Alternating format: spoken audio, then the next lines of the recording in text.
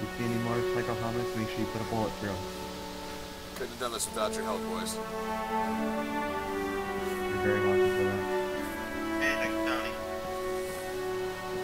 Anyone in the church recommend putting any guns in? Boy. Alright. Let's clear, let's clear. Just a copy of the Desert of Wheat. Crust, Smith, Alright, let's get him. Officer Ryan, cover me as I restore St. Joseph's.